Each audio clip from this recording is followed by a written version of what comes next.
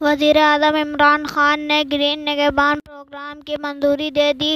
منصوبہ چاروں صوبوں میں شروع کیا جائے گا۔ گرین نگہبان میں کام کرنے والا یومیہ آٹھ سو روپے کما سکے گا۔ منصوبے سے چھ لاکھ افراد کو روزگار فراہم کیا جائے گا۔ وزیر اعظم عمران خان کی زیر صدارت منگل کو وزیر اعظم آفس میں اعلیٰ سطح کا اجلاس ہوا۔ جس میں وزیر اعظم عمران خان نے کورونا کی وبائی صورتحال میں روزگار کے لیے بڑا منصوبہ متعارف کروا دیا۔ گرین نگہبان کے منصوبے کا افتتاح وزیر اعظم عمران خان خود کریں گے۔ گرین نگہبان پروگرام سے کورونا وائرس کی صورتحال میں فوری ملازمتیں اور روزگار کی فراہمی ممکن ہو سکے گی۔